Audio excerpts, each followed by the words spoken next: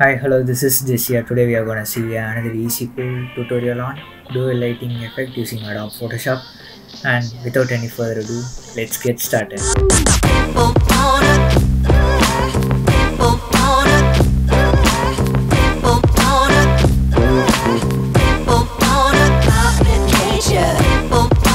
Yes, here we are in an amazing world of Photoshop.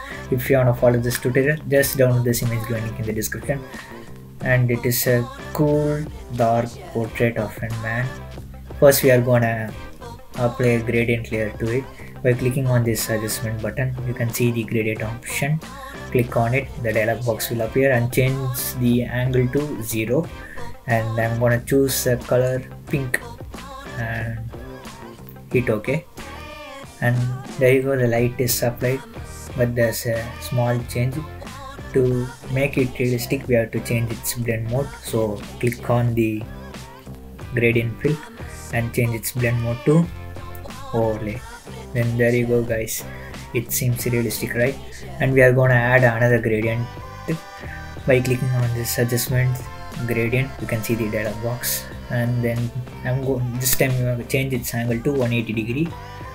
And then I'm gonna choose blue color and hit OK change its blend mode to overlay and there you go guys. Dual light effect is applied and I'm gonna make it interest make it interesting by placing particles over him I'm having a sample PNG proper sample particle PNG image. I'm gonna drag it and place it here over him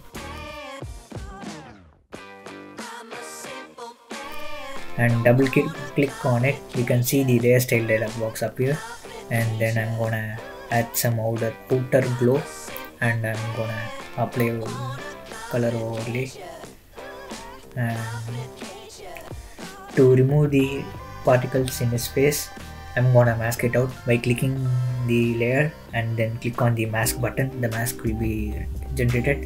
And click the brush. Make the foreground color is black and I'm gonna increase the brush size and reduce the flow to 40 and just tap upon his face then um, it will be erased. And you can see guys and uh, to make it more interesting just add a Gaussian blur to the particle and it will be really cool. And there you go guys. That's all about this video Hope you enjoyed. Do like, share, and subscribe, and keep following JCR Photography. And stay home, stay safe. See you on next one. Bye bye.